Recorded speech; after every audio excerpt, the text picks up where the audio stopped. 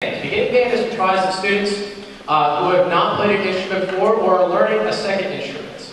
In the ensemble, uh, we've been playing for about three months or so, and I think you'll be very, very impressed with the progress that all of these students have made. Uh, we're very fortunate to have the beginning band, and we're able to have enough instruments to keep the beginning band going. So we hope you enjoy beginning band. We will warm them up for two seconds, and we'll begin moving.